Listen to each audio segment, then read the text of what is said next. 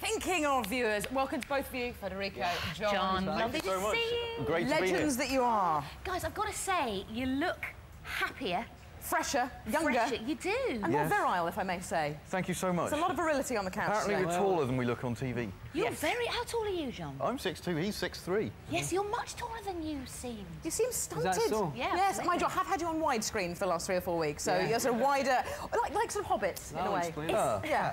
Is it? is it a massive relief to be out Huge. For for both of you, Fed? Yeah, I think both of us can say that. I was massively relieved to be out. It is dull, isn't it, in there? It is a dull place with dullards, uh, and it's good to be back in the civilised. But you, world. are you glad that you are you glad that you did it though, Fed? Are you are you, are you glad? I thought about it, and I would I would have gone in uh, if I could go back, and yeah, I'm glad I did it. But there's nothing really I take from it. Um, a couple of friends, people like Jon, Scott, Anouska. Apart from that, very little. What will you take with, uh, from it, Jon? What experiences will you take?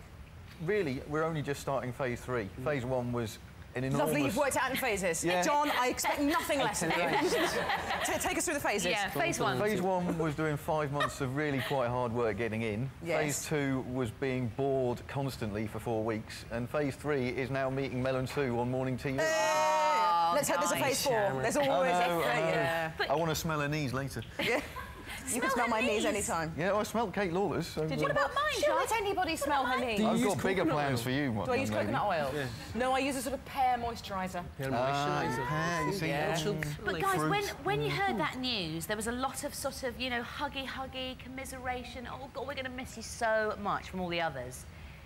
Do you be, do you believe it? Do you buy it? Yeah, I think they, Are they for realised the enormity of their mistake.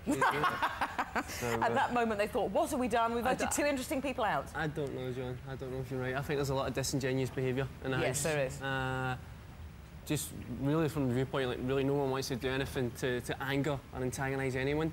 So, you know, they'll be really nice when it comes it- to being very nice, but apart from that, uh, everyone loves each other sure. Everyone loves each other. I'd say, yeah. disingenuous behaviour is also a pseudonym for Tanya, let's face it. Um, Mm-hmm. who you is- said you said she was as fake as her nails. Yeah. And Jon, you said she's a great girl. She said, I, w- the thing about Tanya is she's absolutely harmless. There's no way that she can win the show. Um, so Mm. you might as well just treat her as good entertainment until she comes out. Okay. You know, she Yes. she can't do any I'd, I'd agree with Jon. She is, she is harmless. You know, she's not a wrongful, spiteful person. I, w- I- I never, I never conveyed that, but I did honestly admit that she, she annoyed the danglies off me. You know. Yeah. yeah.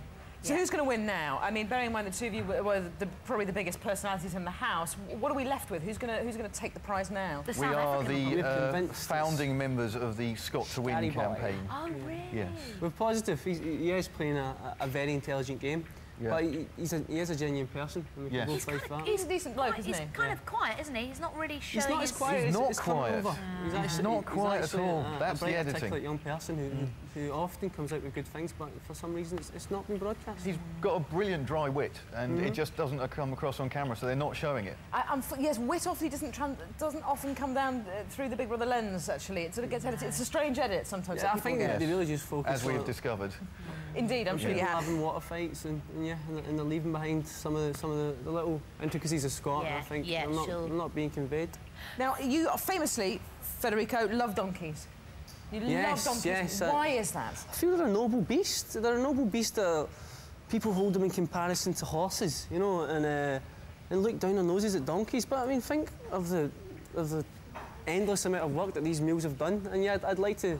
Often, I've touted starting a donkey sanctuary in, in the east end of Glasgow. Ah, well, in as a present, this is marvellous news. We've adopted a donkey for you. You've got the your own Friends donkey. you've not, Yeah. you've not. Trust. Yes, we have. No way. Uh, and your What's his donkey's called Donk Dean. There you Donk go. Dean. Adopt a donkey. There's your video.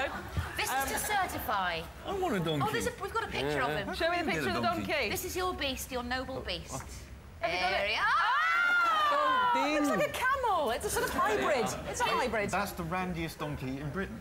well, You, you, I'm I've seen worse. You, you've only got him for 12 months. But at We're least, at least if I, if I have a donkey, there'll be one of us that's hung like a mule. You know? Aw. And, uh, There's So your there you go, there's you got your your certificates, Thanks, sir. and um, you can go and visit and do whatever you want. There you go. That I'll do whatever. take home. Thank you, honestly, thank you. You're Thank welcome. You I'm. I'm a fan Thank of the you. donkey as well. Our pleasure. On your side. Stay with us, guys, please, because after the break, uh, our evictees here, Fed and Jon, will be dishing more dirt on the Big Brother Bonkers housemates. and uh, Big Brother Monitor, Big Brother Bonkers Monitor. My ex fiance James will be telling us who's missing them and who's glad to see the back of them. Oh, Cameron, don't worry. I think I can't believe they did that. It'll be alright. Honestly, Sorry. don't worry about Cam, seriously. Be okay. Have fun.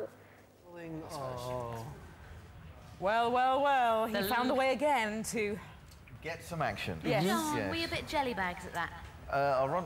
Mm, yes, I'd better not say what, what I think of Cameron at the moment. He, uh, Come on, mate. We, Do you, think you're he's, among he's- friends. do you think he's manipulative? Do you think he's playing a game? yeah, either he's one of the gayest men in Britain, or he, he has kind of green blood running through his veins. He, he is a man, surely. Is he not a man? I think So what's he doing? he might be a man, but I, I think now he's, he's playing.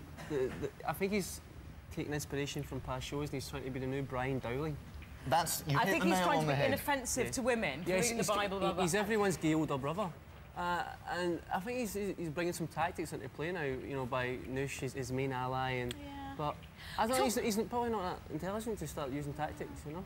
Yeah. Talking of the old green blood running through the veins, green uh. blood, green fingers. Jon, You didn't need to explain that link Nice because it was, link. it was painful. Hello, it was Mel. painful to me. Loving your work. thanks, thanks very, very much. Loving that. That was really strong, wasn't it? That Now- segue. That was Dermot, wasn't it? It was slightly Dermot, mm. sorry. I, I must stop showing my tongue as well. I do apologise for that. But uh, you, you said that you missed Cyril. Who's now, Cyril? who's Cyril? Cyril is a, a pot plant that I inherited off an ex-housemate's ex-girlfriend and had about one leaf when I first got him and now is relatively bushy. Right. Although I have been back to my flat for about two minutes on Saturday. Yes. And Simon has rearranged Cyril um, so he takes up less room. If that's killed him or not, I'm not quite sure. Now, were you faithful to Cyril, or did you let your green fingers wander freely over other foliage? There is always room for, for more plants. You're a dirty dog. You I know, betrayed I- Cyril with Yeah. a tomato plant. How do you think. Cyril feels? He doesn't actually face the TV, he's round the corner. Yes, So, uh, yeah. and you put him there deliberately, didn't you? Absolutely. We yes. saw His you tiny hunched. We saw little hunched eyes over couldn't see your foul, filthy work on national television. okay, um, this is a clip of you. Let's have a look at you uh, with some plants, flirting, playing with them. Naughty tomato plants. Why? What are they doing? If you don't, the reason I spend so long with them is if you don't thin them out, they become tomato bushes, and they just produce too much fruit, and it just doesn't get big enough, and it doesn't ripen. And Can I just say, you're a tomato dominatrix. That's what you are. Naughty plants. I'm not sure if I'm going to give you this plant No. actually, because you might be aggressive towards yes. it. Will you love it? is it a tomato plant? This It's is not Ba- this is Barbara, Barbara. and she is a gift from us to you. I don't know what she is because I'm absolutely rubbish at gardening. I don't know either. Who It's knows not a this plant tomato is? plant, is it? No. I don't know. It's just a. Come on, accept it graciously, my love. I mean, literally almost one pound ninety nine.